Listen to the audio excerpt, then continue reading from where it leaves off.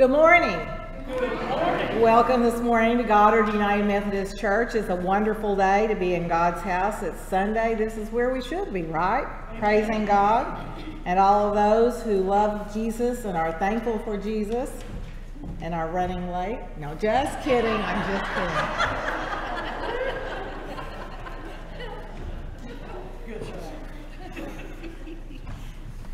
I didn't even mean that.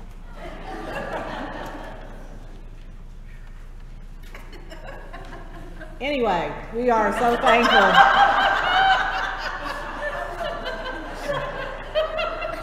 That's okay.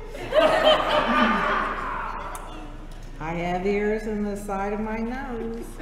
Anyway, uh, we are grateful that you all are here this morning. We have lots going on this week, as you have known, and the flowers this morning, the altar flowers, uh, are given to the glory of God and in memory of Jerry Eubanks by his wife Elizabeth and the Eubanks family. The red carnation is placed in honor of the 93rd birthday on July 14th of Bobby Young, and we want to wish Bobby a very, very, very, very, very happy birthday. If you have a chance, I know you'll want to send her a card. She would love it. She does have difficulty seeing, but she will get help, and that would tickle her. And then we have a white carnation for my mom, and uh, we appreciate all your love and prayers and reaching out, and I know that she would. Uh, so I just thank you on behalf of my family for all that you have done. And then we also have another white carnation, which honors the passing of Virginia Kennedy, which was also a big surprise this week. Uh, her service will be here, mom's service, I should have said that, will be here at 5.30 tomorrow afternoon. So hopefully you can just get off work and come by and you don't have to take any extra time or anything. But if you would like to come, I would love for you to be here so we can celebrate together. Uh, then uh, and there will be no, will it'll be a private burial, so that will be on Tuesday morning, so you don't have to worry about any of that. Then on Tuesday morning here is Virginia's service, and her service is at 10 a.m. here in the sanctuary. And so I know that Larry and Greg would love for you to be here with them also. Greg has made his way to Fort Smith, and so that's something very important. Virginia touched so many lives throughout her thousands of years teaching in the Fort Smith Public Schools and so many uh, different cultures. She translated for so many different people and helped in just a million ways. And so we will be celebrating her life, as I said, uh, on the on Tuesday at 10 o'clock here in the sanctuary. We do continue to remember Jerry uh, Eubanks, his whole family, and we continue, of course, to remember Elizabeth and hold her high in our prayers. We have many people who are not well. So when you look around, do, please do not say everyone is, uh, is on vacation because they're not on vacation. There are many people who are on vacation, but there are many people who are not well. So when you look at your list of your prayer or you get the prayer chain, please know that these folks need your prayers more than you even know. So just take a few moments if you have a few moments and remember that. Also this morning I wanted to lift up to you Kathy Smith, whose mother Bonnie also passed away this week. Her service was Tuesday, yes. And so it's been a tough week for moms this week. And you know what's interesting, of course Greg Kennedy and I are only children and you do have some siblings, right? Kathy, you don't have any siblings?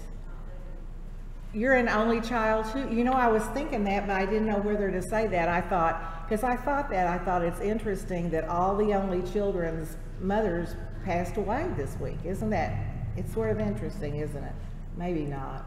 But I was thinking that. Anyway, I've offered many, many prayers, and we're thankful that she's in worship this morning too. So we do welcome you to this time of glorifying God and worshiping Him together.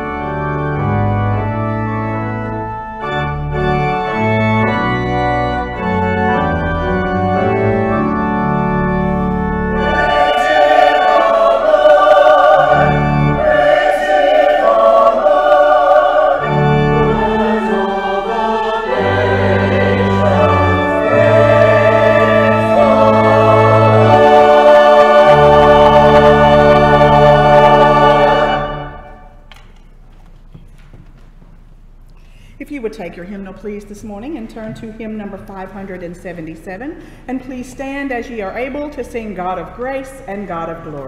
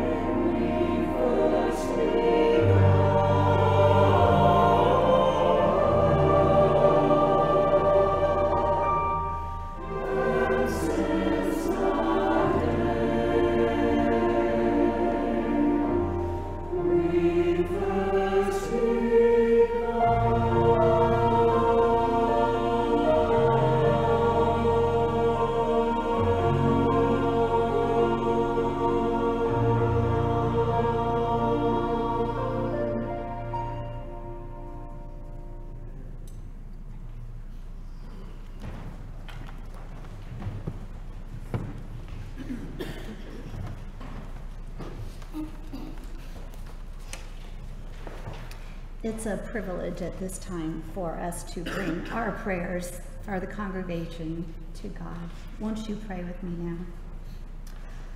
Our most gracious Heavenly Father, we are so grateful that through your Son, our Lord Jesus Christ, you have blessed us with every spiritual blessing. Because of Jesus, we are holy and blameless in your sight. Because of Jesus' blood, we are ransomed. We are forgiven.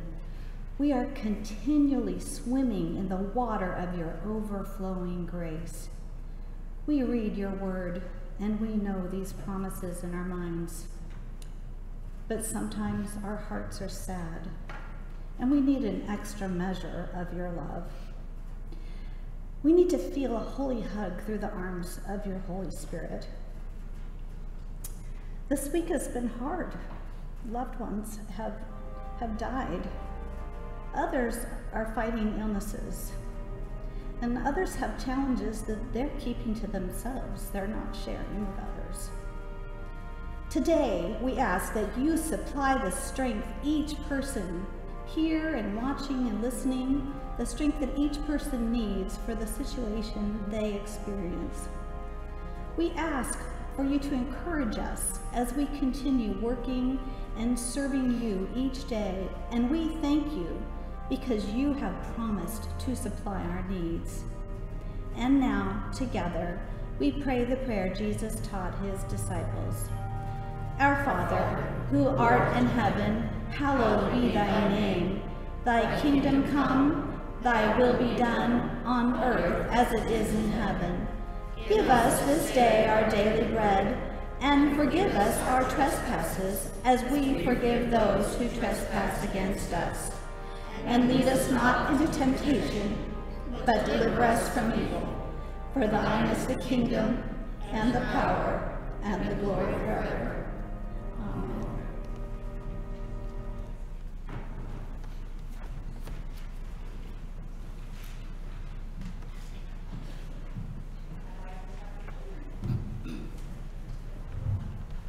I'd love to invite the children to come forward. Come on down.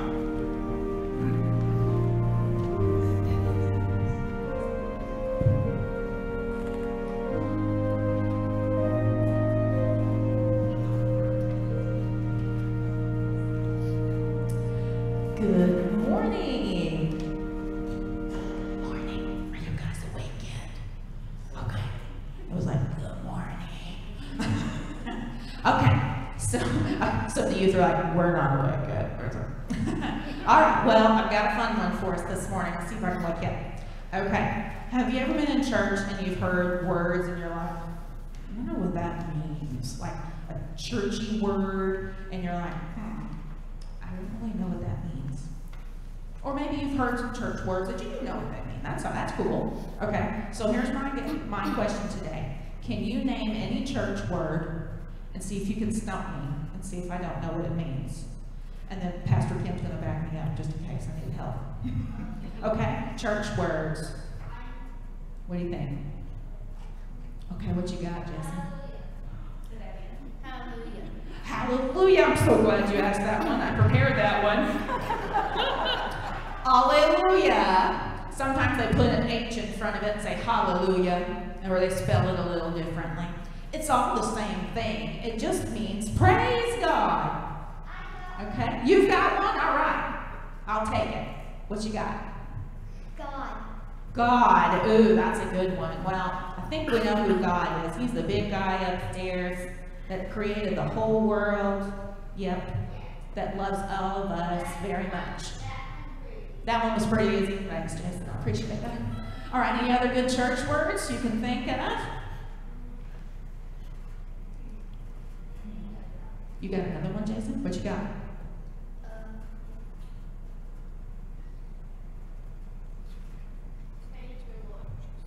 praise the Lord. Praise the Lord. We hear that a lot, don't we? You know what it means? It means praise the Lord. That's what it means. All right, I've got a few. Maybe you can help me out uh, and tell me what these mean. How about this one? What does that say? Those of you that are readers. It says, Amen. Sometimes we say amen, depends on how fancy we're feeling that day, you know? Yeah, amen. Well, I used to think that amen meant the end. You know? Maybe it make, would make sense, right? We're done praying, amen, the end. Well, that's not quite what it means. Sometimes it does feel like it means the end, but it actually means so be it. Or sometimes we'll say it when uh, maybe maybe Pastor Kim's preaching and we just really agree with what she's saying, and we'll say Amen. You know, means like I agree. You know, boy, make that right, make it so. You know, do that, God. That's awesome. Okay, that's what Amen sounds like, or what it means. Okay, what about? Oh, we already did that one. Here, I have an idea. You can hold the amen so I don't use it again. You can hold the hallelujah. All right. So now we're going to pull out another one. Oh, this is a big one. Benediction. Thank you for our good readers. Boy, that's the, that's the big word. That usually happens at the end of the service, right? A benediction is when uh, Pastor Kim says, okay, you've been blessed. It means a blessing, okay? You're blessed. God loves you. But it also kind of comes with this job attached to it, too. It also means that, okay, you've been blessed. Now go out in the world and bless other people, too. And make sure they know about Jesus. So that's what benediction is. Here, you can hold that one. Would you like to hold that one? All right. Okay. I got another one. What about this one? Gospel. Okay, Trilby's got this. What you got? Yes, the gospel is a book in the Bible. Very, very good. That's a book in the Bible. In fact, there are four of them. Four Gospels Matthew, Mark, Luke, and John. They're the extra special books because they're all about Jesus and what he did on earth. Okay? So, gospel means good news. So, what's the good news about? Jesus, right? There you go. All right, here, you can hold that one. Okay? Now, ooh, this is a good one. What's this word? Altar. All right, Trilby's got this, I think. Yeah, you are 100% right. She goes, I think it's that thing. It's right here. Yeah. The altar is that special spot in the service, in the whole church. And you notice with the cross and the candles on it and the Bible. And then sometimes we put communion on there too. Yeah. Okay, the altar. Did you notice that if you look around, the choir, Pastor Kim and Sammy, the entire congregation, no matter where you are in the room, where are you looking right at? The altar. It's a special spot, and it's a very sacred place that we have our focus on during church because even if you're in the balcony, you're right. You can still look right at that. Okay, who wants another one? You can have another one. All right, I got two more. Ooh, this is a good one. I bet you guys know this word. Sin, very good. What's sin? Sin means that, like, uh, you did a bad thing. Perfect. That is exactly right. Sin is when you did a bad thing, something that God doesn't smile about, right? And usually, and it means you've got to ask for forgiveness for it. So very good. Okay. How about this? We aren't even going to hold that one. We'll stick that over there. All right. Now the one word I've got left for today is a very special word that we just sang about in the choir. In fact, the whole song is called this Grace. That was a good song, wasn't it? Oh, some people use it as a name. That's true. Grace is a very special gift from God for when we do this thing, this sin thing, you know? Yeah. When we do that, it's forgiveness. Very good, Jason. It means that God understands that we made a boo boo. And even though, amen. She's like, amen. yeah. God understands we had a boo boo and we don't feel very good about it. And He gives us grace, kind of like a second chance, even though we don't deserve it. So when we sing Amazing Grace, that's what we're talking about, okay? We, we don't deserve it because we've messed up a lot, but God gives us this grace and lets us try again.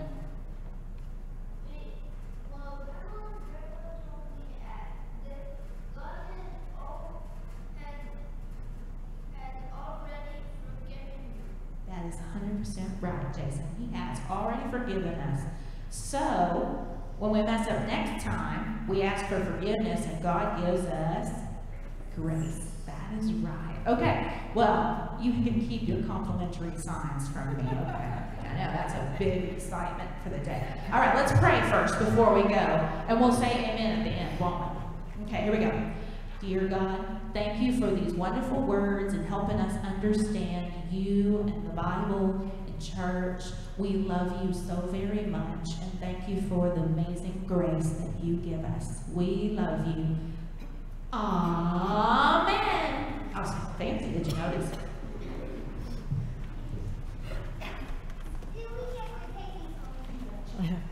We're going to invite the ushers, if they will, to come forward, please. It is time for the gathering of God's tithes and our offerings.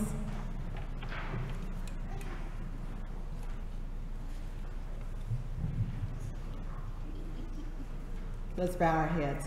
Gracious God, you have given us grace upon grace, and we are a blessed people. And as we come this morning during this special time, help us to actually be a witness. Help us to accept this time or to look forward to this time with joy.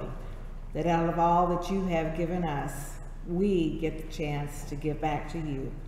And as we give, fill our lives with a new purpose and with a new wish that as we give this gift, it would be used for those in need, for those who uh, come our way, and for those who work so hard constantly in your house. So many more people are reached through these gifts than we can ever imagine, and we give them gladly this morning in Jesus' name. Amen.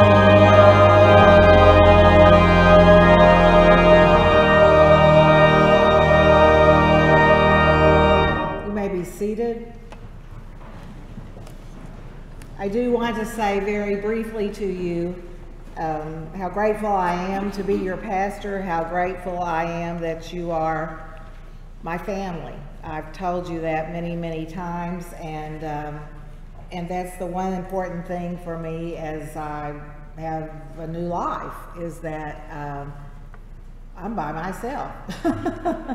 so I am so grateful. Robert, of course, is in Bella Vista with his family, and then Mark is basically in Little Rock, right outside of Little Rock. And so I have the best neighbors in the world, Bobby and Gail Williams, and so thank God when my doors were literally blowing open last night, I couldn't figure out what was going on. I thought, uh-oh. So anyway, uh, so they did, they checked, you know, it's like, are you okay over there? And I'm like, yeah, except that my doors are literally blowing open. I keep locking them and they blow open. But uh, I am blessed and I know that. And you all are my blessing. I've shared with this, you all, uh, this before with you all. I, I serve with the world's greatest people. I truly, truly, truly, truly, truly, and I want you to know that not only from the bottom of my heart, but the folks who work with you and uh, serve with you love God. And that's, that, that's all of these people that you see. Uh, Don's in the back, so I can't really point at him, but you know who they are. They believe in God. They are respectful. They uh, sincerely believe in everything they do, up, up to Tim in the balcony. I mean, it's, it's, uh, and we are blessed as a congregation to have uh, what I would call para staff who come in and help us do so many things um, in terms of bulletins and just all the things that we don't, that we take for granted, the grass, the, just everything. It takes a village and you all are a faithful village and this staff is, you'll never have, well, I, I can say this because I'm not including myself, you'll never have another staff like this. This is the best staff I have ever, ever, ever worked with, and they are, they are incredible. And so I want you to know that you are always in good hands. They step up when they need to. I don't ever think about last week when my mother fell out of her chair. I didn't even think about, you know, uh, what would happen. I just knew that I was calling Carrie at the break of dawn and I mean, it's just, they can do anything. And I'm thankful for that. They can all, they, those people with the scripture talks about one, two, five gifts, they have 22 gifts. And I'm just thankful that they can do more than one thing or the, this is hysterical, the one thing they were hired to do.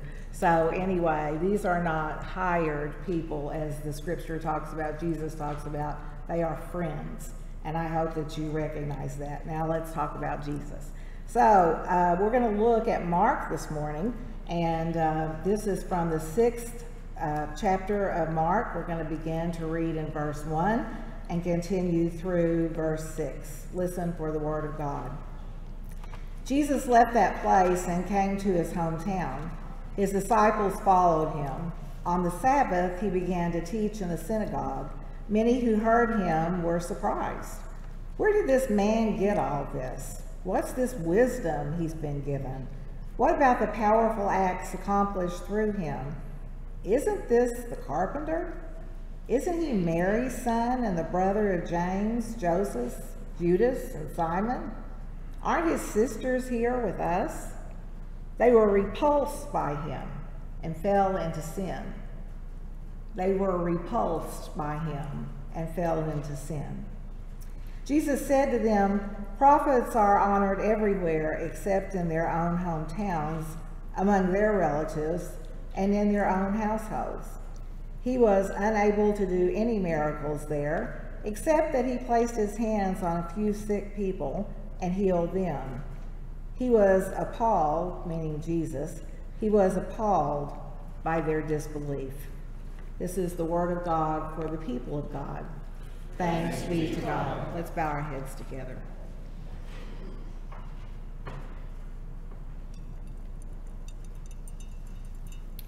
Gracious God, as we come before you this morning and as we hear this passage, we are always so grateful to hear from you, even when we don't understand. And so this morning, whether it's through me or it's despite me, however we hear you, God, let us hear you. And let it touch the lives that are needing a word. Um, and I don't even know what that's about, but I know that there are those who are maybe listening to us from home, wherever we may be, whether we're gathered here or wherever else. We know that when we ask for you, when we need you, that you were there before we even asked. And we praise you for that just as we praise you for the grace that Carrie talked about. We understand that you are the author of all things, that you are the creator, and that you will take us home. You are the Alpha and the Omega, and we praise you for that. And now we ask that the words of my mouth and the meditations of our hearts together would truly be acceptable in, in your sight, because you are our rock and our Redeemer and you are every breath we take. In Jesus' name, amen. Well, by the time we come to Mark 6, which is where we are this morning, Jesus is on a roll. Have you noticed that? He's on a roll, and he's moved from his baptism to calling the disciples, and uh, word about Jesus has then been spreading to the surrounding countryside. Crowds are beginning to gather around him to listen to him teach, and people are bringing the sick on mats to be healed by him. And in chapter 6, verse 1, we read these words Jesus left that place and came to his hometown. His disciples followed him. And the expectation is that Jesus will experience even greater success in his hometown of Nazareth. After all, if people who don't know him are flocking to him, right? if people who then could be considered strangers are coming to him, then you can imagine the positive reception that he's going to get from those who have been his family, those who are his friends, people who have known him his whole life, right? Well, that's not what happens. What happens in Nazareth could be seen in the eyes of the world, our world even today, as failure. Failure. The Gospels do not whitewash anything, and I hope you've picked that up over the years. They don't whitewash anything. And here's an example of Jesus experiencing rejection in his own hometown, and they have recorded it. Mark has recorded it for us. But it's not a failure of Jesus that's recorded in this story. It's a failure of the people to receive Jesus. And in that, we learn a few lessons about what's going on and what's about to happen and what we're getting into. Because in every story about Jesus um, and people, we learn more about the Savior and more about ourselves because actually, and I've shared this with you before, Scripture is a mirror. You may not think it, you don't see what we think of as a mirror, but Scripture is a mirror that we hold up to our own faces. And whether we like it or not, we usually find at least a little bit of ourselves represented in the people that we encounter in the Scripture. So what goes wrong in Nazareth? And what do we learn about the, who this Jesus is? And maybe, perhaps, what do we learn about ourselves? Well, the first thing I would share with you this morning is probably popping right off the page for you, and that is we learn the power of opinion. The power of opinion. And I want to start with that power of opinion. Maybe you've noticed this. Uh, but most folks place a lot of um, stock in their own opinions. They just do, especially when it comes to opinions about other people. Most folks form an opinion about you based on their first encounter with you. People make snap decisions about other people, and then it can be next to impossible to undo that snap decision. If someone decides that you are the best person who's ever lived and completely trustworthy, their opinion isn't going to change even if you give them every reason to believe the opposite. If someone decides that you, um, that really all you do is lie, and this is very true, that all you do is lie, then no matter what you do, even if you tell the truth and have never even told a lie, it's not going to matter because typically once folks form an opinion, there's no going back. People are confident in their opinions. They may have bad self-esteem, but they're confident in their opinions. People put trust in their own opinions.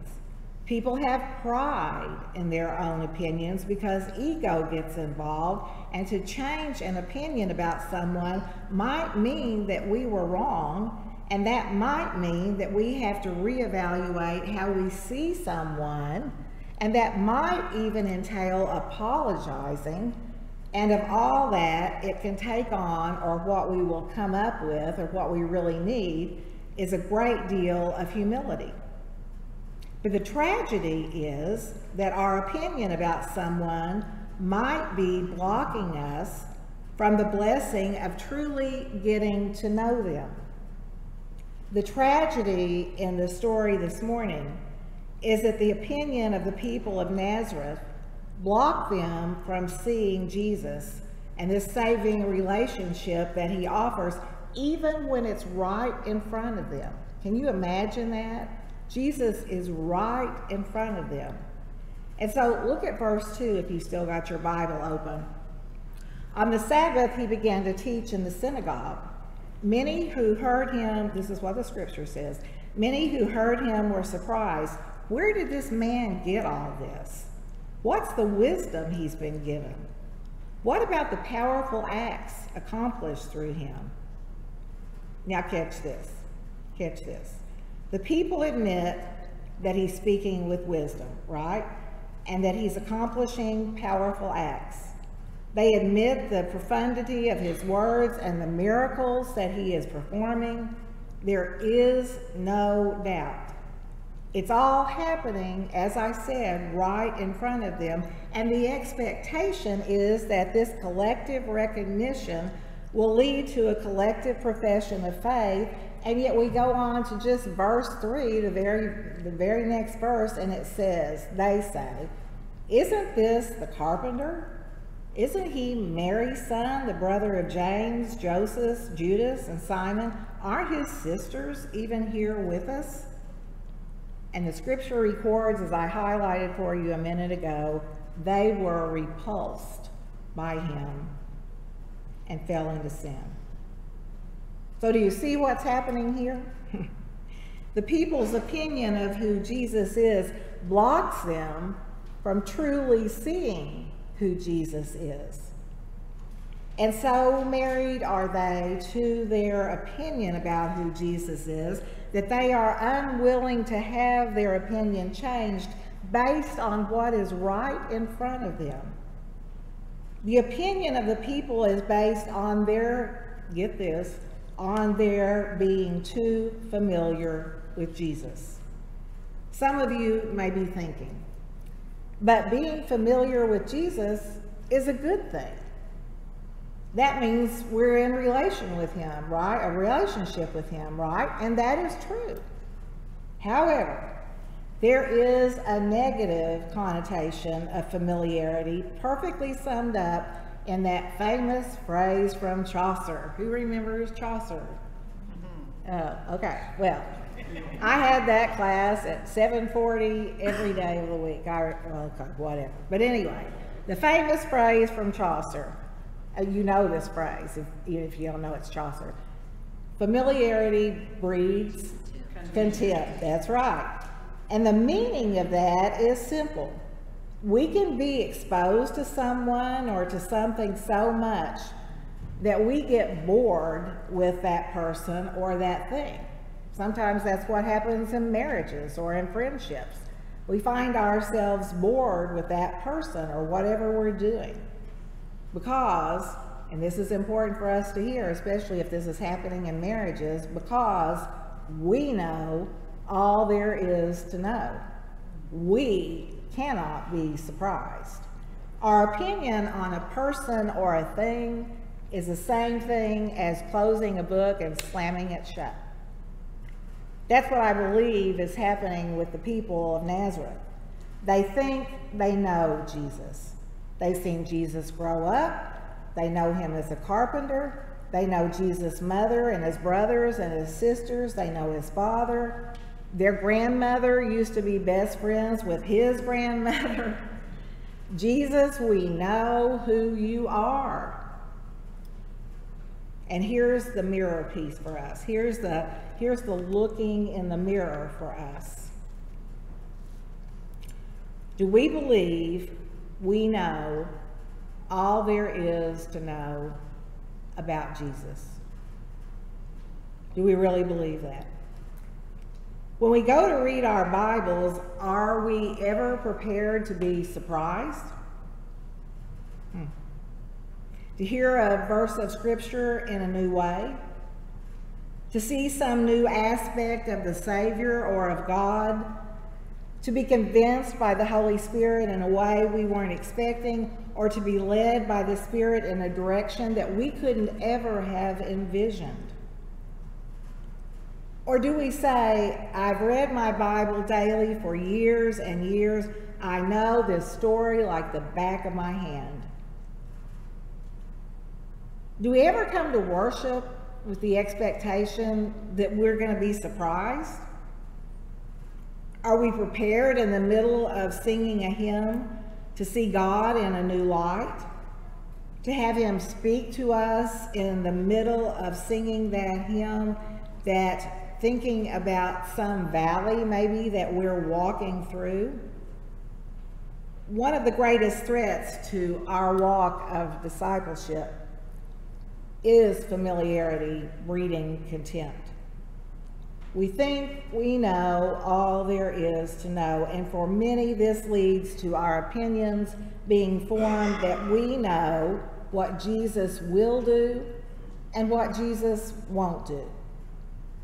See, the glory, the glory of Jesus the Son and God the Father is we can rest on the truth and the reality that God so loved the world that he sent his only Son into it so that all might be saved and not condemned.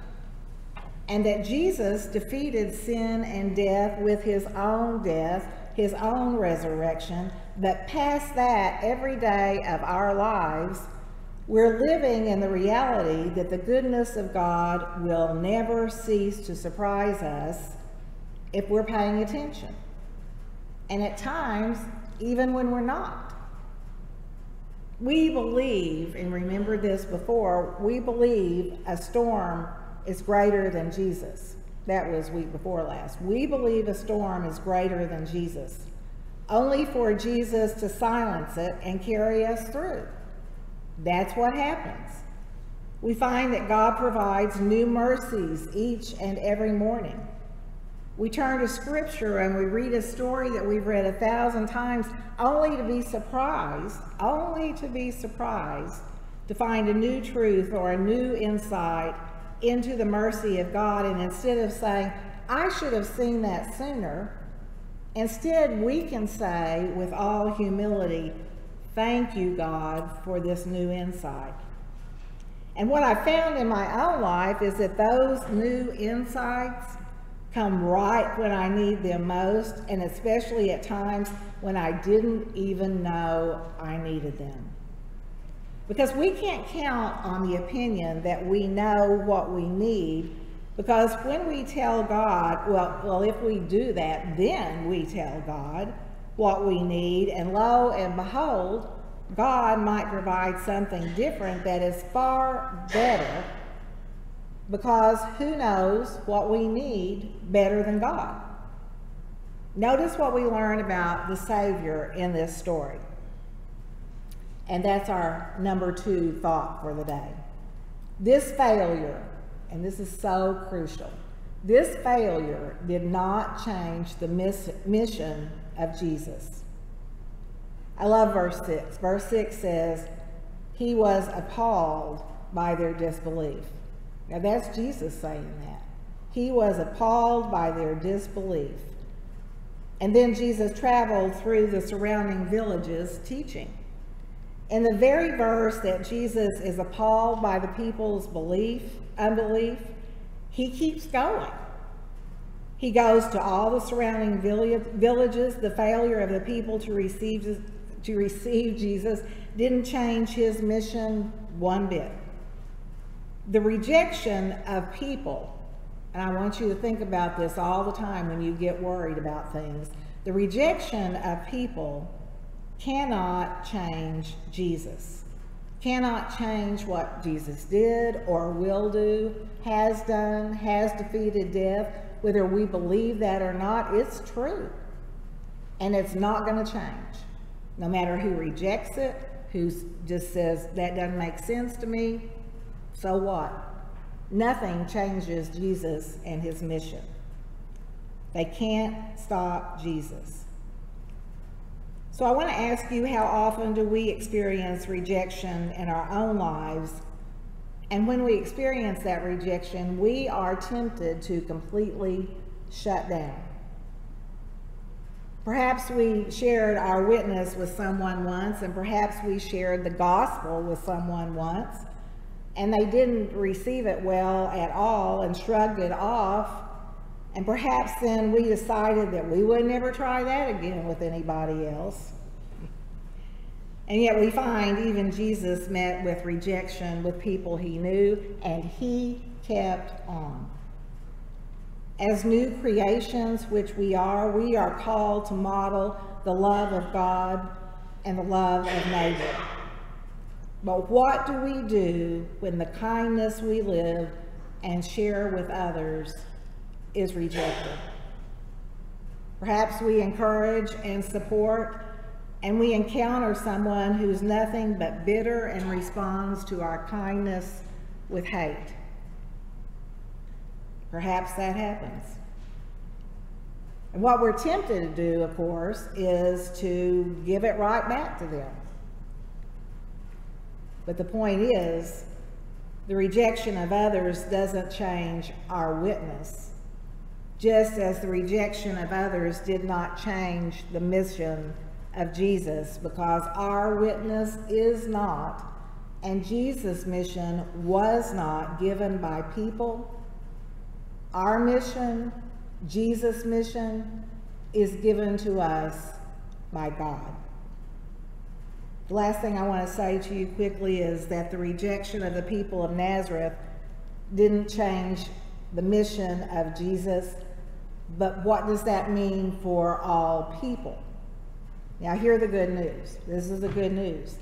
Jesus would continue on to where? On to Jerusalem and he would die and he would be raised not just for the disciples, not just for those who believed in him already, but even for the people who had sat in the synagogue in Nazareth and rejected him. Even for those people, he would continue on to Jerusalem. The rejection of the people would not stop this salvific work of Jesus Christ, and their initial reaction and rejection would not be the final word. We don't have the final word no matter what we think. None of Jesus' four brothers believed in him when he was alive. You may not know that, but that's true. But at least James, and you saw the resurrected Jesus, and if you look at it in 1 Corinthians, it's in chapter 15, verse 7. And Jude did so after his resurrection, and both would become leaders in the early church, and both would author the epistles. Even in the midst of our sin and our rejection, Jesus died for each and every one of us, so that by the grace, carry of God, so that by the grace of God, we would be turned from our sin and rejection and proclaim Jesus as the Lord and Savior of our lives. And so, in turn, we would become sons and daughters of God, so that we might be surprised by the goodness of God, and daily we would be led by the Spirit to show love and mercy to the world around us, to family, to friends, to strangers. What we celebrate is that even if we have found rejection from others, when we try to witness, Jesus is still working through that person and is still working in and through us. And we have to believe that. Bob used to say that to me all the time. I, I feel like I would fail in confirmation, and he would say, Who was the first person that, that ever told you about Jesus? I don't know, mom. Well, who was after that? Well, I don't know. Well, of course you don't know. How many people do you think have told you about Jesus? I don't know. Well, of course you don't.